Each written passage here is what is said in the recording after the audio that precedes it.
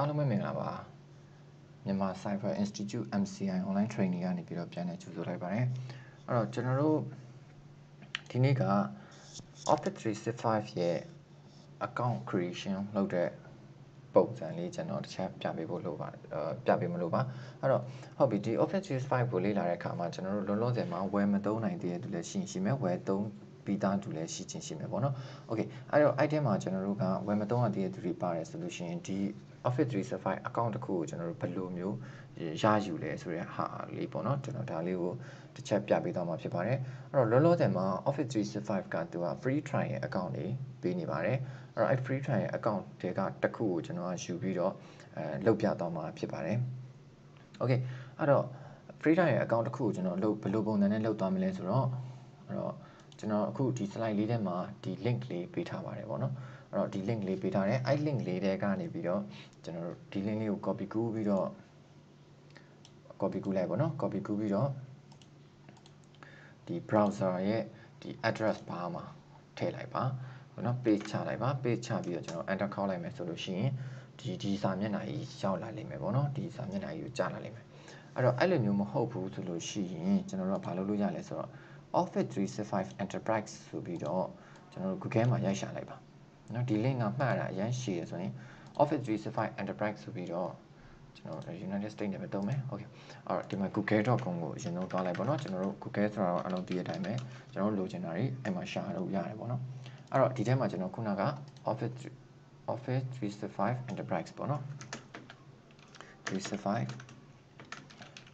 Enterprise ဆိုပြီးတော့ရိုက်ရှာလိုက်။ရိုက်ရှာလိုက်အပေါ်တော့မှာဒီ Office 365 Enterprise ဆိုတာရှိတယ်။ Okay ဒီနေရာမှာကျွန်တော်တို့က Okay ဒီကောင်ပါအပေါ်ဆုံးက link လေးပေါ့နော်အော် compare Office 3အော်တကောင် compare ကြီးဗျအော် sorry ဟုတ်တယ်ဒီနေရာပေါ့နော် Okay ဒီနေရာမှာ compare Office 365 Enterprise ဆိုတာလေးကြာလာမယ်အဲ့ဒီ right click ထောက်ပြီးတော့ new link in open link in new tab ဆိုတာလေးကိုနှိပ်လိုက်လို့ရှိရင်ကျွန်တော်ဒီဘက်မှာပေါ်လာတယ်ပေါ့နော်ဒါခုနကျွန်တော်ပေးတဲ့ link ပါပဲအတူတူပါပဲ okay ဒီနေရာကိုရောက်သွားပြီဆိုရင်ကျွန်တော်ဒါတွေပြန်ပိတ်လိုက်မယ် ဒီနေရာလေးကိုရောက်သွားပြီဆိုလို့ရှိရင်အဲ့တော့ဒီနေရာမှာကျွန်တော်တို့ free ပေးထားတဲ့ account type နှစ်မျိုးရှိပါတယ်တစ်ခုကကျွန်တော် E3 account ပေါ့နော်နောက်တစ်ခုကကျွန်တော် E5 account သူက try for free try for free လို့ပါတယ်အဲ့ဒါကျွန်တော်တို့တစ်လ free ပေးသုံးပါတယ် okay အဲ့တော့တကယ်ဝယ်သုံးမယ်ဆိုရင်ဒေါ်လာ20ပေါ့နော်တစ်လကိုကျွန်တော်တို့ user တယောက်အတွက်တစ်လကိုဒေါ်လာ20ကျပါတယ် E5 ဆိုရင်ကျွန်တော်ဒေါ်လာ35ကျပ်ကျတယ်ပေါ့နော် okay ပါတဲ့ feature တွေအောက်မှာတစ်ခုနဲ့တစ်ခုမတူပါဘူးအဲ့တော့ရတယ်မရဘူးဆိုတာဒီအမှန်ချစ်ကလေး နဲ့နေတာဒီ feature ကိုရတယ်ပေါ့နော်အဲ့တော့ကျွန်တော်ဒီမှာပါတဲ့ feature တွေဖတ်တင်ပါတယ်အဲ့တော့ဒီ feature တွေပုံမူတည်ပြီးတော့ကျွန်တော်တို့ဒီမှာဟောပေါ့ဝယ်ရတာပေါ့နော်အပြင်မှာဆိုရင် okay ကျွန်တော်ဒီမှာ E3 account တစ်ခုကျွန်တော်စမ်းလုပ်မယ်အဲ့တော့ကျွန်တော် try for free ဆိုတာလေးကိုကျွန်တော်နှိပ်လိုက်ပါ okay ဒီလောက်သွားတဲ့ဟာအတွက်ကိုကျွန်တော် slide ကလေး step by step လုပ်ထားပါတယ်အဲ့တော့ကျွန်တော်ဒီ link ကိုနှိပ်လိုက်ရင်ဒီမှာကျွန်တော်ဒီ page ပေါ်မယ်ပေါ်တဲ့အခါမှာကျွန်တော်ဒီမှာ try for free ဆိုတာလေးကိုနှိပ်လိုက်ရင် နောက်တစ်မျက်နှာကကျွန်တော်ဒီကိုရောက်မယ်ပေါ့နော် okay အဲ့တော့ကျွန်တော်ဒီ slide ကိုဒီ video ရဲ့ကျွန်တော်အောက်မှာ download ဆွဲဖို့ကျွန်တော် link ချပေးထားမယ်အဲ့တော့အဲ့ link ဒီ slide လေးကိုအဲ့ link ကနေပြီးတော့ download ဆွဲဆွဲပြီးတော့အဲကျွန်တော်ဒီ slide ထဲကပုံစံလေးတိုင်းတစ်ဆင့်တစ်ဆင့်ချင်းလေးလောက်သွားလဲရတယ်ပေါ့နော် okay အဲ့တော့ကျွန်တော်အရင်ဆုံးဒီမှာ email တစ်ခုစပြီးတော့ထည့်ရပါတယ်ခုနကကျွန်တော် try for free ကိုနှိပ်လိုက်တဲ့အခါမှာဒီကိုရောက်လာရောက်လာတဲ့အခါမှာ email တစ်ခုနှိပ်ရတယ်အော်ထည့်ရတယ်အဲ့တော့ဒီ email ကြိုက်တာထည့်လို့ရတယ်ကျွန်တော်တို့ဥမာ ရှားသူ @gmail.com ပေါ့နော် okay အဲ့လေးထည့်လိုက်တယ်ထည့်လိုက်တယ်ဆိုလို့ရှိရင်ကျွန်တော်တို့ next နှိပ်ကြည့်လိုက်ပါအဲဒါလေးကကျွန်တော်တို့ available ဖြစ်တယ်ဆိုလို့ရှိရင်ကျွန်တော်တို့ရတယ် available မဖြစ်ဘူးဆိုရင်မရဘူးပေါ့နော် okay ဒါဆိုရင်ကျွန်တော်တို့ဒီမှာကျွန်တော်တို့ sign up account ဆိုတာလေးပေါ်လာတယ်အဲ့ဒီကျွန်တော်တို့ set up account ဆိုတာလေးပေါ်လာတယ်အဲ့ဒီဟာလေးကိုကျွန်တော်နှိပ်လိုက်လို့ရှိရင်နောက်တစ်ဆင့်ကိုကျွန်တော်ရောက်သွားတယ်အဲ့ဒါခုနကမေးကဘာဖြစ်လို့ထည့်ခဲ့ရတာလဲဆိုရင် ဒီဟာကကျွန်တော်တို့တစ်လခုန free pay သုံးတာလို့ကျွန်တော်ပြောထားတယ်အဲ့တော့ဒီ E3 account မှာပါတဲ့ software တွေကဒါတွေဒါတွေဒါတွေဒါတွေပါတယ်အဲ့တော့ဒါတွေပါတာဖြစ်တဲ့ကြောင့်ကျွန်တော်ဒါတွေသုံးမယ်ပေါ့ဟုတ်ပြီနော်တကယ်လို့တစ်လပြည့်သွားတဲ့အခါမှာသူကကျွန်တော်တို့ contact လုပ်ဖို့အတွက်ခုန email ကိုတောင်းတာဖြစ်ပါတယ်အဲ့ email ကိုသူက main account တော့တစ်လပြည့်သွားပြီဝယ်ဝယ်သုံးပါတော့ဆိုပြီးတော့သူစကားမေးပို့မယ်ပေါ့နော်အဲ့ဒီအတွက်ကိုသူကမေးတောင်းထားတာဖြစ်ပါတယ် okay အဲ့ဒီနေရာမှာကျွန်တော်စပြီးတော့ခုနမေးရတော့ကိုကြိုက်တဲ့ account တစ်ခုခုထည့်ပေးလိုက် ထည့်ပေးလိုက်ရပါပြီအာဒီနေရာမှာကျွန်တော်တို့က account setup စပြီးတော့လုပ်ရပါမယ်အဲ့တော့ setup လုပ်တဲ့အခါမှာ first name တွေ last name တွေကျွန်တော်စပြီးတော့ထည့်ကြမယ် okay ကျွန်တော်ဒီနေရာမှာ SHA ရှာ THU2 ပေါ့နော်ရှာ2ဆိုတဲ့အားလေးထည့်လိုက်မယ်ဖုန်းနံပါတ်ထည့်တောင်းတယ်ဖုန်းနံပါတ်ကကျွန်တော်ဖုန်းနံပါတ်ထည့်ပေးလိုက်မယ်ပေါ့နော်39နဲ့စလို့မရဘူး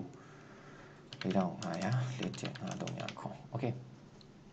ဒါဆိုရင်ဒါကျွန်တော်ဖုန်းနံပါတ်ထည့်လိုက်ပြီးဒါကကျွန်တော်ဖုန်းနံပါတ်အမှန်ထည့်တာပေါ့နော် okay company name company name ကကျွန်တော် MCI အာ MCI နော်ကုမ္ပဏီရဲ့ site ကုမ္ပဏီရဲ့ site ကဘယ်လောက်လောက်ရှိလဲဆိုတော့သူက employee နဲ့သတ်မှတ်တယ်ဝန်ထမ်းဒီဥယျာဉ်နဲ့ပေါ့နော် okay ကျွန်တော်ရဲ့ဝန်ထမ်းကထားပါတော့90နဲ့246ကြားမှာရှိတယ်ဒီလောက်ထားလိုက်မယ် country ကကျွန်တော်မြန်မာဆိုတော့မြန်မာရွေးလိုက်မယ်ပေါ့နော် okay မြန်မာပြီးကျွန်တော် next ကိုနှိပ်လိုက်ပါ okay ဒီနေရာကိုရောက်လာပြီဆိုရင်ကျွန်တော်တို့ကကျွန်တော်ဒီ verification လုပ်ဖို့အတွက်ကိုပေါ့နော်သူကဖုန်းနံပါတ်ကိုတောင်းတာအဲ့တော့ဒီမှာကျွန်တော်ကဖုန်းနံပါတ်ခုနထည့်ထားတယ်ကျွန်တော်တို့နိုင်ငံကုတ်က +95 အဲ့တော့ကျွန်တော်ရဲ့ဖုန်းနံပါတ်ကတာ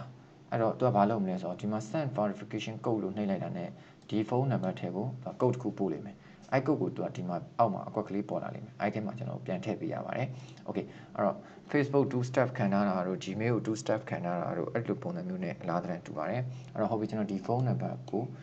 ကုတ်ပို့ခိုင်းလိုက်မယ်ပေါ့နော်အဲ့တော့ကုတ်ကိုပြန်ရိုက်ဖုန်းကိုကိုယ့်လက်ထဲမှာကင်ထားဖို့လိုပါတယ်အခုဆိုရင်ကျွန်တော်ဖုန်းကျွန်တော်လက်ထဲမှာကင်ထားပါတယ် okay send verification code လို့နှိပ်လိုက်မယ်အဲဆိုရင်ခဏနေသူကအဲ့မှာ verification code ဖြည့်ဖို့အတွက်သူအောက်မှာအကွက်ကလေးပေါ်လာတယ် အဲ့ထဲမှာကျွန်တော်ဖုန်းထဲကိုရောက်လာတဲ့ကုတ်ကိုထည့်ရမှာဖြစ်ပါတယ်ကျွန်တော်ဖုန်းထဲကို10415ဆိုတဲ့ဟာလေးဝင်လာပါတယ် okay verify လုပ်လိုက်မယ်ကျွန်တော် okay ဒါဆိုရင်ကျွန်တော်တို့ပြီးသွားပြီဟုတ်နော်အဲ့တော့ဒါ verification လုပ်တဲ့အဆင့်မှာအဲ့တော့ verification လုပ်ပြီးသွားပြီဆိုလို့ရှိရင်အဲဒုတိယအဆင့်အောင်မြင်သွားပြီပေါ့နော်ဒီမှာ step 1ကျွန်တော်တွေ့အဲကျွန်တော်ကြိုက်တဲ့ email တစ်ခုထည့်ထားတယ်2က setup လုပ်တယ်အဲနာမည်တွေပါဖြည့်တယ်ပေါ့နော်ပြီးတော့ verification လုပ်တယ် 3ကကျွန်တော် business identity တွေဖြည့်ရတော့ business identity ဆိုကျွန်တော်တို့ company name ကဘာလဲပေါ့နော်အဲ့တော့ဘယ်လို email မျိုးနဲ့တုံးပါလဲပေါ့ကျွန်တော်တို့ email ကဘာနဲ့စုံမလဲအဲ့ဘာနဲ့စုံမလဲဆိုတာအထက်သူကတော့လောလောဆယ်မှာ free account ဖြစ်နေတာဖြစ်တဲ့ကြောင့် on ဒီဟာလေးနဲ့စုံတယ်ပေါ့နော် on microsoft.com ဆိုတဲ့ဟာလေးနဲ့စုံတယ်အဲ့တော့တဘောတရားကဘယ်လိုဖြစ်သွားမလဲဆိုတော့ကျွန်တော်တစ်ချက်ပြပေးမယ်အခုလောလောဆယ်မှာသူက .on.microsoft.com ဆိုတာလေးနဲ့စုံထားတယ်အဲ့ကျွန်တော်တို့ကကျွန်တော်တို့ရဲ့ company name ကိုဒီရှေ့မှာထည့်တယ်ဥပမာ MCI ပေါ့အဲ့ဆိုလို့ရှိရင်ကျွန်တော်တို့က mci.on.microsoft.com လို့ဖြစ်သွားတယ်ဒါကဘာဖြစ်သွားလဲဆိုတော့ကျွန်တော်တို့ email တွေရဲ့အနောက်မှာပါတဲ့နာမည်ဖြစ်သွားမှာအဥပမာဘယ်လိုလဲဆိုတော့ကျွန်တော်တို့ကဥပမာကျွန်တော်ရဲ့ email ကရှားသူဆိုတော့ sharthu အဲ့ဆို@ဒီလိုဖြစ်သွားပါမယ် အဲ့တော့ဒီနောက်ကဟာကြီးကကျွန်တော်တို့ free account သုံးနေတာဖြစ်တဲ့အတွက်ကြောင့်ကိုယ်ပိုင် domain လည်းမရှိသေးတာဖြစ်တဲ့အတွက်ကြောင့်ကျွန်တော်တို့အဲ့ဒါကြီးကပြောင်းလဲလို့မရပါဘူးဒီရှိရနာမည်အတွက်ပဲကျွန်တော်တို့ပြောင်းလဲရအဲ့တော့သုံးကြောက်ကကျွန်တော်ကိုမေးပို့ခြင်းနဲ့ဆိုရင်ဒါကြီးကိုရိုက်ပြီးတော့ပို့ရမှာဖြစ်ပါတယ်နော်တူနေရာမှာ share to add ကျွန်တော် MCI ထည့်ထားရင် mci.onmicrosoft.com ဆိုတာလေးနဲ့ဒါကြီးကကျွန်တော်ရဲ့ email ဖြစ်သွားမှာပေါ့နော် နောက်ပိုင်းကျရင်တော့ကျွန်တော်တို့ကကိုယ်ပိုင် domain ကိုယ်ကုမ္ပဏီကနာမည်ရှိတယ်ကိုယ်ကုမ္ပဏီကထားပါတော့ domain နာမည်တစ်ခုဝယ်ထားတယ် mci.com ဆိုတာလေးဝယ်လိုက်တယ်ဆိုရင်ဒီနာမည်တွေကဝယ်ရတာဖြစ်ပါတယ်အဲ့တော့ဝယ်လိုက်တယ်ဆိုရင်ကျွန်တော်ကဒီနေရာမှာဒီကောင်အစားထိုးလိုက်လို့ရတယ်အဲ့တော့ဘယ်လိုဖြစ်သွားမလဲဆိုတော့ associate share to @micro mci.com ဖြစ်သွားတယ်ဆိုတော့ဒီနာမည်ဝယ်လိုက်ပြီဆိုရင်ဒီနေရာမှာကျွန်တော်တို့အစားထိုးလို့ရတယ်အခုလောလောဆယ်ကျွန်တော်တို့ဒီမှာဖြည့်ရမယ့်အကွက်ကဘာလဲဆိုတော့ဒီနေရာလေးအတွက် တောင်းတာဖြစ်ပါတယ်ဒီနောက်ကတော့ပြောင်းလဲလို့မရဘူး on microsoft.com ဆိုတာအဲ့တော့ကျွန်တော်ဒီနေရာမှာတစ်ခုနာမည်ပေးရမှာဖြစ်ပါတယ် okay mci e learning လို့ကျွန်တော်ပေးလိုက်မယ် mci e learning ဟုတ်နော် okay check available လေးလုပ်ကြည့်လိုက်ပါ okay ဒီလိုလေး state သွားတယ်ဆိုရင်ဒါ available ဖြစ်တယ်ပေါ့နော် mci e learning ဆိုတာလေး available ဖြစ်တယ်ဒါဆိုကျွန်တော်ရဲ့ email ကဘာဖြစ်သွားမလဲဆိုတော့ အဲကျွန်တော်ရှေ့ရနာမည်လာမယ်ပြီးရင် assign လေးလာမယ်ပြီးရင် MCI e-learning ဆိုပြီးတော့လာလိမ့်မယ်ပေါ့နော် okay အဲ့ဒါကျွန်တော်ကအဲ next ကလေးနှိပ်လိုက်မယ်ပေါ့အဲ့တော့ဒီညမှာတော့နည်းနည်းဒီနောက်ကနာမည်ကြီးပါပြီးသားဖြစ်တဲ့အကြောင်းတူရင်တော့ပိုကောင်းတာပေါ့နော် okay အဲ့တော့ next နှိပ်လိုက်တဲ့အခါမှာဒီဘက်ဘေးကိုရောက်တယ်အဲ့တော့ဒီမှာပုံစံလေးကဒီလိုဖြစ်သွားပြီ MCI e-learning ဆိုတဲ့ပုံစံလေးဖြစ်သွားပြီပေါ့နော်အဲ့ကျွန်တော်ဒီဟာလေးကို copy ကူးထားလိုက်မယ် okay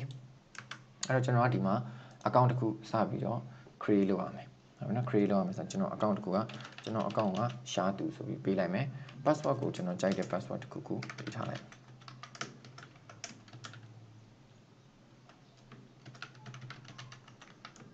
โอเคဒါဆိုရင်ကျွန်တော်ရှားသူဆိုရင် account လေးတစ်ခုစောက်လိုက်တယ်အဲ့ဒါဘယ်လိုဖြစ်သွားမလဲဆိုတော့ရှားသူ @mcielearning.onmicrosoft.com ဆိုပြီးဖြစ်သွားမယ်ပေါ့နော် နောက်ပိုင်းကို domain ဝယ်ပြီးတော့ရင်တော့ဒီညမှာကို domain ထည့်လို့ရတယ်เนาะဒါကတော့ administrator level တွေပဲလုပ်လို့ရတယ်တာမန် user level တွေမရပါဘူးလုပ်လို့မလွယ်ပါဘူးပေါ့နော် okay ဒါဆိုရင်ကျွန်တော်ရဲ့ email လေးက shatu@mcielearning.onmicrosoft.com ဖြစ်သွားပြီပေါ့နော် okay password ကကျွန်တော်ပေးထားတဲ့ password ဘယ်သူမှမသိသေးဘူး okay ဒါဆိုကြာပြီးပြီဆိုရင်ကျွန်တော်ဒီညမှာ sign up ကလေးလုပ်ပေးရပါတယ်ဒါကဘာလို့တာလဲဆိုတော့ကျွန်တော်တို့ဒီက email account တစ်ခုစောက်တဲ့စောက်လိုက်တာပေါ့နော် email account တစ်ခုစောက်လိုက်တာပါ sign up လုပ်လိုက်ပါမယ်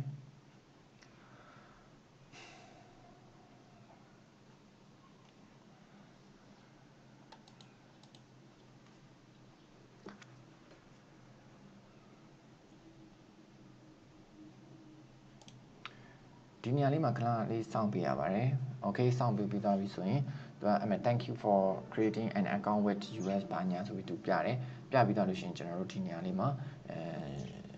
share to @mcielearning.onmicrosoft.com ဆိုတဲ့ email လေးနဲ့ကျွန်တော်ရဲ့ password နဲ့ရပါပြီ။ Okay ဒါရသွားပြီဆိုရင်ကျွန်တော်တို့သုံးလို့ရပြီပေါ့နော်။ Okay ဒါအခုကျွန်တော်တို့ရလိုက်တဲ့ account ကျွန်တော်ရဲ့ password တစ်ခုရှိတယ်အဲကျွန်တော် password ကကျွန်တော်ပဲတည်ရပေါ့ okay ထားလိုက်ပါတော့ okay ဝင်ပြီဆိုရင်ကျွန်တော်တို့ကဘယ်ကိုသွားရမလဲဆိုတော့ OFFI C Office 3 office.com ဆိုတဲ့ website စီကိုကျွန်တော်တို့သွားပြီးတော့ Office 365ကိုအသုံးပြုရမှာဖြစ်ပါတယ် okay ဒါဆိုရင် internet ရတဲ့ဘယ် set ကနေမဆိုကျွန်တော်တို့ဒီ browser လေးတစ်ခုရပြီရပြီဆိုတော့ကျွန်တော်ဒီနေရာမှာ browser လေးတစ်ခုဖွင့်လိုက်ဖွင့်ပြီးတော့ဒီနေရာမှာကျွန်တော်တို့ဘာလုပ်ရမလဲဆိုတော့ office office.com ဆိုပြီးတော့ enter ခေါက်လိုက်ပါဒါကဘာလဲဆိုတော့ office 365ကိုကျွန်တော်တို့က account ရပြီဆိုရင်သုံးလို့ရပြီအဲ့တော့အဲ့ account ရပြီဆိုသုံးလို့ရပြီဆိုတော့ကျွန်တော်ဘယ်လိုသုံးမလဲပေါ့နော်ဘယ်လိုသုံးမလဲဆိုတော့ပြောတာပါ ဘယ်လိုသုံးမလဲဆိုရင် browser တစ်ခုဖွင့်လိုက် Chrome ပဲဖွင့်ဖွင့် Firefox ပဲဖွင့်ဖွင့်အဲ့ထဲမှာကျွန်တော်တို့ office.com လို့ရိုက်လိုက်လို့ရှိရင်သူက account sign in ဝင်ခိုင်းနေမယ်အခုတော့ကျွန်တော်ကအဲဒီနေရာမှာကျွန်တော်က sign in ဝင်ပြီးသားဖြစ်သွားပြီဒီနေရာမှာ share@mcielearning.onmicrosoft.com ဆိုပြီးဖြစ်သွားပြီဟုတ်နော်အဲဒီနေရာမှာကျွန်တော် sign out လုပ်ပြီးတော့ပြန်ဝင်ပြမယ်ဟုတ်နော် sign out လုပ်လိုက်တယ်အဲ့ဒါကျွန်တော်ဒီနေရာမှာပြန်ရိုက်ကြည့်မယ် office office.com နောက်ဆို Microsoft Office 365ကိုသုံးတော့မယ်ဆိုတော့ ਨੇ browser ကိုဖွင့်အဲ့ထဲမှာ on office.com လို့ရိုက်ပြီးအဲ့ဒါခေါက်ပါခေါက်လိုက်ပြီဆိုရင်ဒီနေရာကိုရောက်လာလိမ့်မယ်အဲ့နေရာမှာကျွန်တော်တို့ sign in ဒီမှာလည်းရှိတယ်ဒီမှာလည်းရှိတယ်အဲ့တော့ဒါပေမဲ့ဒီနေရာမှာကျွန်တော်က auto ကြီးဖွင့်ပြီးသားကြီးဖြစ်နေပါတော့အဲ့တော့ဒီနာမည်ကတော့ပေါ်နေပြီးသားဖြစ်သွားလိမ့်မယ်အဲ့တော့အခုကျွန်တော် sign in ကိုနှိပ်လိုက်ပြီဒီ account ရှိနေတယ်ပေါ့နော်တကယ်လို့အနောက်အဲ ဘာမှမဝင်ရသေးဘူးအခုမှတခြားဆက်ကနေဝင်နေဆိုရင်ဒီလိုပုံစံလေးပေါ်လိမ့်မယ်အဲ့ဒါကျွန်တော်ကဘာရရမလဲဆိုတော့ခုနကရှားသူဆိုတဲ့ဟာကြီးကိုအပြည့်စုံကြီးဒါကြီးကိုအပြည့်စုံကြီးရိုက်ရပါမယ်โอเคအဲ့တော့အဲ့ဒါကြီးရိုက်ပြီးသားပြီဆိုရင်ကျွန်တော်တို့ကဒီညမှာ next နေလိုက် password တောင်းနေမယ်ကျွန်တော် password ကိုကျွန်တော်ထည့်လိုက်မယ်ပေါ့နော် okay ထည့်လိုက်ပြီဆိုရင်ကျွန်တော်တို့က state sign in လုပ်မှာလားတဲ့ဒီနာမည်ကိုကျွန်တော်တို့က state ဒီနာမည်လေးကိုကျွန်တော်တို့ကနောက်တစ်ချိန်ဝင်လို့ရှိရင်ဒီ email အရှိကိုရိုက်ရမှာဆိုလို့ state sign in မှာအဲကျွန်တော်ဒီနာမည်ကိုတော့ပြန်မရိုက်တော့ဘူး password ကိုပဲပြန်ရိုက်တော့မလားပြန်ရိုက်တော့မယ်ဆိုတဲ့ပုံစံမျိုးဖြစ်ပါတယ်ဒီဟာလေးမေးနေတာပေါ့နော်အဲ့တော့ဒါလေးမှာကျွန်တော် yes လို့လုပ်ထားလိုက်ရင်နောက်ဆိုရင်ကျွန်တော်ဒီနာမည်အရှိရိုက်စရာမလို password လေးနဲ့ပဲရိုက်စရာပဲလို့တော့တယ် okay yes လုပ်လိုက်ဒါဆိုရင်ကျွန်တော်ဒီနေရာကိုရောက်လာပါလိမ့်မယ်ဒါဟာ Office 365ကိုစသုံးဖို့အတွက် ပထမဦးဆုံးမြင်ရတဲ့မြင်ကွင်းဖြစ်ပါတယ်အဲ့တော့ okay ဒါဆို Office 365 account ဘယ်လိုစောင့်လဲနောက်က Office 365ထဲကိုဘယ်လိုမျိုး sign in ဝင်လဲဆိုတာကိုပြောတာပါပြန်ပြောပါမယ် Office 365ထဲကိုဝင်မယ်ဆိုလို့ရှိရင်ကျွန်တော်တို့က office.com account တစ်ခုစောင့်ရပါတယ်စောင့်ပြီးမှ account တစ်ခုရှိရဆိုမှ office office.com ဆိုပြီးရိုက်ပြီးအနာခေါက်လိုက်ပါခေါက်လိုက်တာနဲ့ကျွန်တော်တို့ဒီမှာ sign in ဝင်ပြီးတော့မှဒီကိုရောက်မှာဖြစ်ပါတယ် ဒီကိုရောက်ပြီဆိုတော့ကျွန်တော်တို့ဒီ software တွေကိုစသုံးလို့ရပါပြီဒီမှာမြင်နေရတဲ့ software တွေအကုန်လုံးကိုစသုံးလို့ရပါတယ်ဟုတ်ပြီနော် okay ဒါက all application နဲ့ကျွန်တော်ကြည့်လိုက်တာ account ဆောက်တာကတော့ခုနကကျွန်တော်ပြောသားသလိုပဲ Google မှာကျွန်တော်တို့ရိုက်ပြီးတော့အရင်ဆုံး google.com ကိုသွားလိုက်သွားလိုက်ပြီးလို့ရှိရင်ဒီ search bar မှာ office 365 enterprise ဆိုပြီးတော့အဲရိုက်ပြီးတော့ရှာလိုက်အဲ့မှာ compare office 365 enterprise by microsoft ဆိုတဲ့ဟာလေးကိုတစ်ချက်နှိပ်လိုက်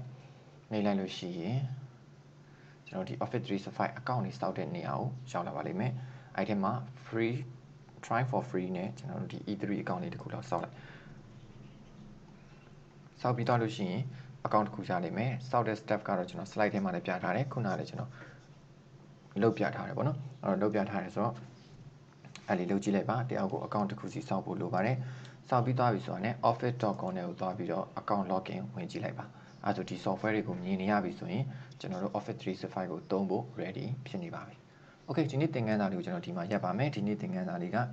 ဘာလဲဆိုတော့ Office 365 account တစ်ခုကိုကျွန်တော်တို့ဘယ်လိုစောင့်မလဲ။နောက်တစ်ခါကျွန်တော်တို့ Office 365ထဲကိုဘယ်လို login ဝင်မလဲ။ account စောင့်တာရဲ့ဘယ်လိုဝင်မလဲကျွန်တော်နှစ်ခုသင်သွားတာဖြစ်ပါတယ်။ Okay အဲ့တော့ဝင်သွားပြီဆိုတော့ကျွန်တော်တစ်ခုတော့ကြားဖြတ်ပြောလိုက်အောင်မယ်။အဲ့တော့ ဒီမှာကျွန်တော်တို့သင်မဲ့ software ၄ခုကျွန်တော်မထုတ်ပြီးခဲ့တဲ့ lesson တော့ကျွန်တော်ပြောခဲ့တယ်အဲ outlook ရှိတယ်တင်မယ်နောက်တစ်ခါကျွန်တော်တို့ OneDrive ရှိမယ်နောက်ကဘာရှိမလဲအဲ OneDrive ရှိမယ် team ရှိမယ်ပေါ့နော်နောက်ကကျွန်တော်တို့ planner ရှိမယ် okay အဲ့လေးခုတည်းကိုတစ်ချက်လောက်ဝင်ကြည့်ထားဖို့ကောင်းပါတယ်အဲ့တော့ကျွန်တော် OneDrive ထဲကိုဝင်ကြည့်လိုက်မယ် OneDrive ထဲဝင်ကြည့်နောက်ထပ် tab တစ်ခုနဲ့တော့ OneDrive for Business ဆိုပြီးတော့ဒီညလေးမှာကျွန်တော်တို့ပေါ်လာလိမ့်မယ် အဲ့တော့ဒီချက်မှာကျွန်တော်ဘာ data မှမရှိသေးတဲ့အတွက် draft file here ဆိုပြီးတော့ plain ကြီးဖြစ်နေလိမ့်မယ်ပေါ့နော်။ Okay ဒါလေးတွေပေါ်လာရင်ချက်ချက်ကလေးနှိပ်ပြီးပိတ်ထားလိုက်လို့ရပါတယ်။ဒါကတော့သူ့ရဲ့ introduce လေးတွေပေါ့နော်။ Okay ဒါဆိုရင်ဒါ OneDrive ထဲကိုကျွန်တော်စပြီးသုံးလို့ရနေပြီပေါ့။ Okay ဒီဘက် tab ကိုပြန်လာလိုက်ရင် software တွေရှိတဲ့နေရာကိုပြန်ရောက်လာမယ်။အဲ့ဒီမှာကျွန်တော်နောက်တစ်ခုသွားကြည့်မယ်။ OneDrive ပြီးတော့ကျွန်တော်တို့ Outlook Outlook ကိုသွားကြည့်လိုက်ရင်မေးဖို့တဲ့နေရာမေးဖို့တဲ့နေရာဒါပေမဲ့ချက်ချင်းတန်းပြီးသွားလို့မရသေးဘူးမမြင်ရသေးဘူးပေါ့နော် ဘာလုပ်ဖို့လိုလဲဆိုတော့ language oh sorry time zone လေးသတ်မှတ်ပေးဖို့လိုတယ်ကျွန်တော်တို့ဒီမေးတွေကိုဘယ်နိုင်ငံရဲ့အချိန်နဲ့သုံးပါလဲပေါ့အဲ့တော့အချိန်ရွေးပေးဖို့လိုပါတယ်အဲ့တော့အချိန်ရွေးပေးလိုက်ခါကျမှမေးတစ်ဆောင်ဝင်လာပြီဆိုရင်ဘယ်နေ့ဘယ်ရက်ဘယ်အချိန်ကနေကျွန်တော်တို့စီဝင်လာတဲ့ဆောင်ကိုပြမှာပေါ့နော်โอเคဒီညမှာက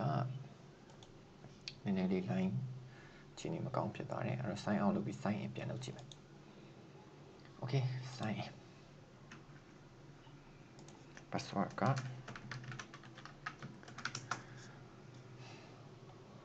don't show yes okay ဒါဆိုဒီညမှာကျွန်တော် outlook ကိုဝင်ကြည့်လိုက်မယ်เนาะခုန OneDrive ကိုဝင်လာပြီ outlook outlook ဆိုရင်နောက်ထပ် tab တစ်ခုနဲ့သူကြားလာလိမ့်မယ်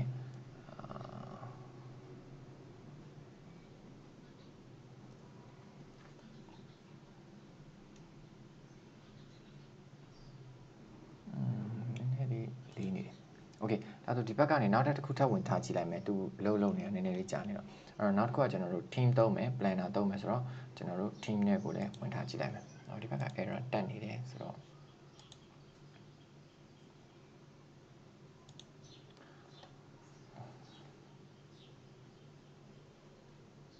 Microsoft Team Okay Microsoft Team နဲ့ကိုကျွန်တော်တို့ရောက်လာပြီ Microsoft Team နဲ့ကိုရောက်လာပြီဆိုရင်သူက software တွေ download ဆွဲလို့ရတယ်ကျွန်တော်တို့ဖုန်းထဲဒီမှာ သုံးတဲ့ software ဥပမာ Android ဆို Android အတွက်ကိုကျွန်တော် download ဆွဲလို့ရတယ်အဲဒီနေရာမှာပါ get the window application ကျွန်တော် window နဲ့သုံးတယ်မို့လို့သူကတည်တယ် window application ကို download ဆွဲမလားပေါ့နော်အဲ့တော့ကျွန်တော်တို့က web ပေါ်နေပဲသုံးချင်တယ်ဒီ browser ပေါ်နေပဲသုံးချင်တယ်ဆိုရင် use the web web application instance ဆိုတဲ့ဟာလေးကိုကျွန်တော်တို့ရွေးပေးရပါတယ်အဲ့တော့ကျွန်တော်ဒါလေးကို new tab နဲ့တွားကြည့်လိုက်မယ် software တွေ down ညင်တော့ဒီဟာလေးကိုတစ်ချက်နေပြီးတော့ iOS လား Android လား Windows အတွက်လား Windows အတွက်ကတော့ကျွန်တော်ဒီမှာတစ်ခါလေး down နေပြီပေါ့နော် အဲ့တော့ down နေပြီဒီ software လေးကိုကျွန်တော်တို့ရဲ့ computer ထဲမှာ install လုပ်ပေးရပါမယ်မခက်ပါဘူးဒီဟာလေး download ဆွဲပြီးတိုင်း double click လေးခောက်ပြီးတော့ next next next next နဲ့ပဲ install လုပ်သွားတယ်ပေါ့နော် okay အဲ့တော့ဒါလေးကျွန်တော်ခဏ force လုပ်ထားလိုက်မယ် Android ဖုန်းတွေအတွက်ကဒီကနေ download ဆွဲပါ iOS သမားတွေကဒီကနေ download ဆွဲပါနော် Apple သုံးတဲ့သူတွေအတွက်ကအဲ့ဒါဖုန်းတွေထဲမှာလည်းသုံးလို့ရတယ်အဲ့ဖုန်းတွေထဲမှာလည်းကျွန်တော်တို့ Google Play Store ကနေပြီးတော့ရှာကြည့်ရင်ဒီ Teams ဆိုပြီးတော့ Microsoft Teams ဆိုပြီးတော့ရှာကြည့်လိုက်ရင် ဒီ icon လေးနဲ့ကျွန်တော်တို့ i software လေးရှိပါတယ် Google Play Store မှာ download ဆွဲလို့ရပါတယ်အဲ software လေးကို download ဆွဲထားပါဖုန်းနဲ့သုံးလို့ရတယ်ပေါ့နော် okay ဒါဆိုရင်ခုန Microsoft Teams ကိုကျွန်တော် web UI ကနေလုပ်တဲ့အခါမှာဒီပုံစံလေးနဲ့ကျွန်တော်တို့တယောက်တယောက် check လုပ်လို့ရပြီ video call တွေခေါ်လို့ရပြီပေါ့နော်အဲ့တော့ဒါက Microsoft Teams နဲ့ကိုကျွန်တော်ဝင်ကြည့်ထားတာ okay ဒီကောင်ကနည်းနည်းလေးအဲ့ဒါတက်နေတယ်ခဏထားလိုက်မယ် okay နောက်တစ်ခုကကျွန်တော်တို့ planner planner က all application တွေကိုသွားမှမြင်ရမယ်ဒီမှာ planner planner တွေကိုသွားလိုက်လို့ကျွန်တော်တို့အဲ့မှာ create new plan လို့ဘာလို့ပေါ်လာပြီဆိုရင်ဒါ planner software ကိုကျွန်တော်တို့သုံးလို့ရတယ်။ Okay ဒါဆိုရင်ဒါ planner ကလည်းအဆင်ပြေတယ်ပေါ့နော်။ planner ကလည်းအဆင်ပြေတယ် create a plan ဆိုတာနဲ့ဒါ plan တစ်ခုစဆွဲလို့ရပြီ။ပြန်ပေးလိုက်ပါဒီလိုပဲဝင်ရုံပဲဝင်ကြည့်ထားတာပေါ့နော်။ Okay ဒါဆိုကျွန်တော်ကအခု team နဲ့ကိုလည်းကျွန်တော်ဝင်ကြည့်ပြီးသားပြီ။ အဲဒီဟာဆိုဒီလိုလေးပေါ်နေပြီဆိုတော့ team ကကျွန်တော်သုံးလို့ရပြီဒီမှာ high နေပါပြီ slide လို့ရပြီပေါ့နော်ဘယ်သူနဲ့စကားပြောမလဲဆိုတော့ဒီမှာ share လို့ရပြီကျွန်တော်မှာ account နေမရှိသေးဘူး account နေစောက်စောက်ရအောင်မယ် okay ဒါဆိုဒါလေးပိတ်ထားလိုက်မယ်အာဒီကောင်က outlook ကပြဿနာနည်းနည်းလေးတက်နေတယ် okay အဲ့ဒါဆိုရင်ကျွန်တော်ဒီဘက်က OneDrive တွေပါတွေကလည်းအသုံးပြုလို့ရနေပြီပေါ့နော် okay outlook ကိုကျွန်တော်နည်းနည်းလေး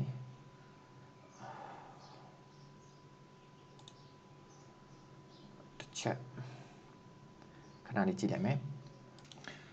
ဟုတ်ပါပြီ outlook ကတော့သူကဘယ်လိုဖြစ်နေလဲဆိုတော့ကျွန်တော်ချက်ချင်းကြီးသူကဒီ account တစ်ခုအတွက်ကိုနောက်ကွယ်မှာ mailbox ပေါ့နော် mailbox က create လုပ်နေတာနည်းနည်းလေးကြာနေတယ်ပေါ့နော်။ Okay ကျွန်တော်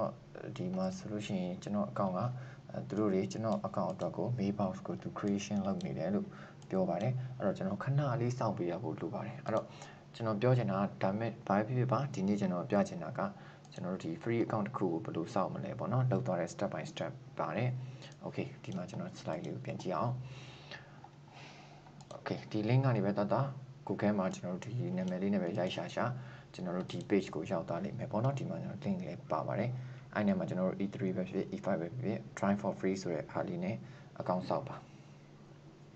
try for free ကိုနှိပ်လိုက်ရင်ကျွန်တော်ဒီနေရာကိုရောက်လာလိမ့်မယ် အဲ့ဒီနေရာမှာ email တစ်ခုထည့်ရပါတယ်ဒီ email ကကျွန်တော်တို့ဝယ်သုံးတဲ့ဟာက license တစ်လ free free ပေါ့နော် free တစ်လပြည့်သွားပြီဆိုရင်